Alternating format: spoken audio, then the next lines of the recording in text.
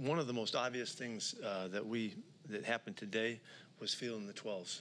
God, dog, what a great what a great impact they had on this game. These guys had eight false starts in this game, and that that that's not us. We had them do that.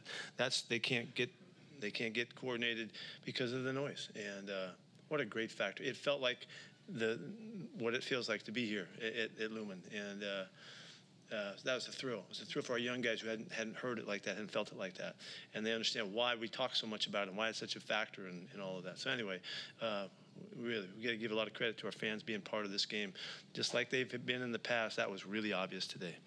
Um, what I liked about this game, coming off of last game as well, is, is playing 60 minutes of football.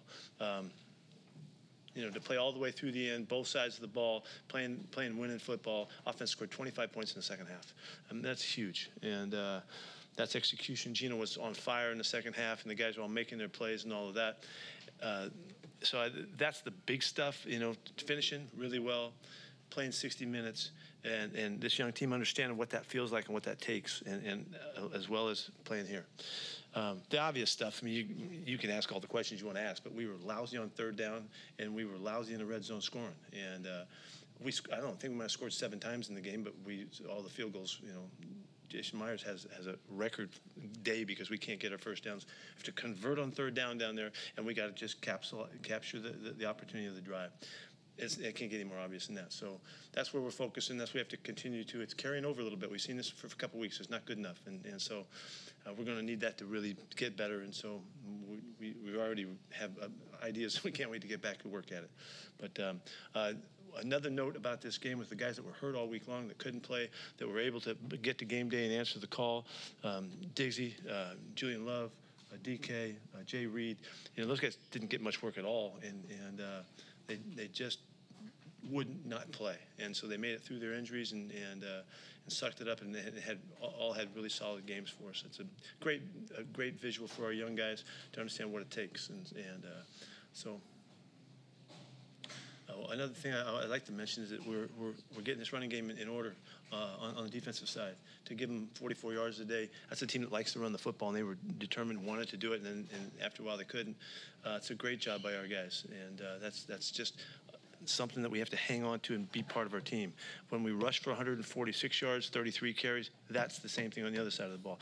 Those are the kinds of things that we have to make staples of our play, and then we can start to find the consistency that we need. So I'm really fired up about this day today to be able to have that kind of a rushing day when at one point you had four backup linemen in the game for you guys compared to what you started the year with, know, just the way I know. they've played I the last mean, weeks. I, I know. It's such a statement about really about the coaches keeping those guys together and, and, and getting our, our, our, guys that step in to, to play first, you know, front level ball. We didn't run the ball real well at times early. It didn't look like, you know, it looked like we might be struggling, but uh, uh, really Kenny and, and Zach, they were really on it.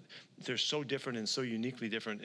Uh, I loved seeing Zach show himself today and, and uh, show you how tough he is and, and how explosive he can be. It's a great asset for us, and so um, that was a really good part of our day. You mentioned Jarran not being able to practice just the impact he had, sack and a half. Oh yeah, sack and a half, and but uh, when he got it too, you know, really to ice the game kind of was just big time come through. Um, he, he, is such a marvelous uh, return to us, you know, to get him to come back to us. He's such a marvelous factor. Um, you know, you wouldn't know how much he uh, affects the guys around him um, with his, his wisdom and his background, but it's his toughness and his resolve. He's, he's unbelievably important to us. And he had a great game. Sure. Run and stop the run, the eight false starts. Did this feel like the championship style? It's yeah, and rushing for 146 yards, heck yeah. Scoring points at the end of the game, finishing, yeah, it did. And and uh, I'm really pumped about that. The, the first game was such a uh, it's such an outlier. I can't even imagine how that happened. But uh, to go finish 60 plus minutes last week and to come back again this week, um, that's really a, a, big statement for us to build on, and we're going to need it. We're going to need it all the way down, you know, down the schedule. But um, it's a young team that's coming together and finding themselves, and we can really make something of that. How, did Red Bryant do get the team fired up yesterday? Red Bryant did great. Yeah, it was a stellar, classic Red Bryant at, at pregame. Uh, I told him, okay, give the pregame speech like you used to, you know. So it didn't take him two seconds to jump into character. How was that having all those guys to walk? It was really good. I'm so glad we won a game and, and played a game like that, uh, with the fans being part of it and, and, coming from behind and all that kind of stuff. Um, yeah, I, I just it, it was really a thrilling weekend, and way more than I thought it would be. I, I didn't know that it would feel so emotional um, and, and connecting with the guys because there's, they, they love this, their recollection of this time that we spent together, and they've all carried it with them, and it's been a big part of their life, and uh, they deserve to, you know, cherish and relish in all of the memories of that, and they are doing that, and so it, it just it, it lives on because of that. So it's really special. Speaking of the fans, after that back-to-back false starts, those back-to-back false starts, turned around and gave a pretty emphatic salute to them, uh, to the crowd. Oh, so obvious. It was so obvious that they were they were you know they were they were uh, kind of running the show. You know, so we were just playing off them and, and flying with them, and um, that it felt it felt more unique than it's felt recently, and and uh, uh, for for whatever reason. The fact that they responded like that in this early part of this season, and after we screwed it up last the last time we were here, that's where we start moving forward. And I'm hoping that we can continue to, to fill them up, and they can fill us up with uh, you know the love they have for the Seahawks. What, what happened with Dre'Mont Jones? Um, his hip tightened up. Um, I don't know. We don't know the extent of it, but his hip was was got tight. You said it's a young team that's coming together. How much has them trusting each other helped this process? That's, that's the that is what the process is about. It's about learning who you're playing with, understanding what you can count on from the people around you, and then being accountable, and then being that. You know, finding your way to performing like we need you to perform because we know you, and uh, that is what's happening. And there's just growth opportunities. That's what I made a big deal about last week because that was such a challenge opportunity to be in. We'll grow with that one. Coming back home and doing it again after we had kind of screwed it up before was a huge growth opportunity for us. And I really feel like we can trust that we understand that you got to play 60 minutes of football and sometimes even more. What do you think of Jake Bobo's touchdown? Loved it. Loved it. I was so fired up that Jake got, got that. Um, we, we missed some opportunities to him today, but he's going to be a big factor. Um, he, he did some really good things in this game today.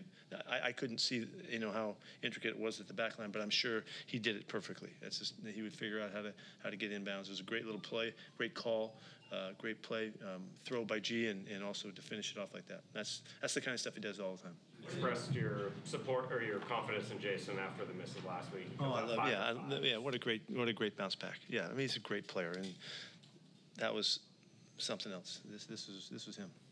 Think of Witherspoon's day, what did they tell you about the DPI that they called? On? Oh man, that was a huge call in this game, wasn't it? I mean, it was such a crucial time, and they thought that he grabbed his jersey. You know, if they see any grab at all, they have the the right to call it. That's kind of how they kind of defined it, and that's what the guy said he, he saw. Um, so you know, good call on his part if that's what happened.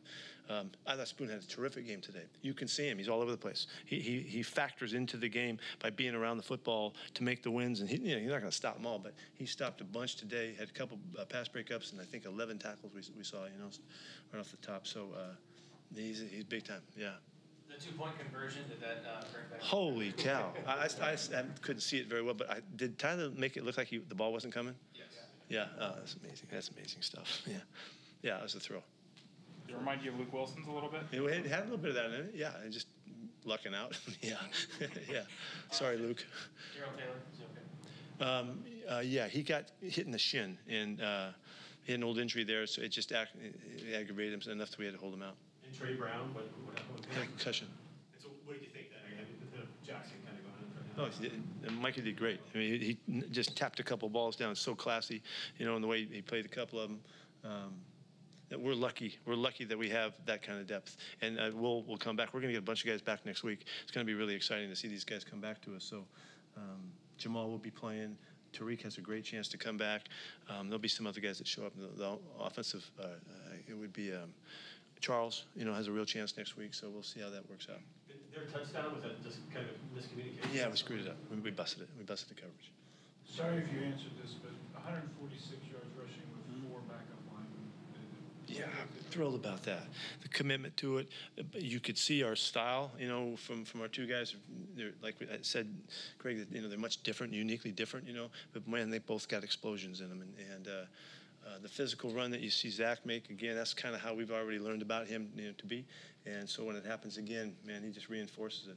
I'm really fired up about those two guys. And, and uh, that's the kind of day. It's the right numbers. We, we completed, I don't know, how many, 23 something passes or something like that. We ran for, we ran 33 times.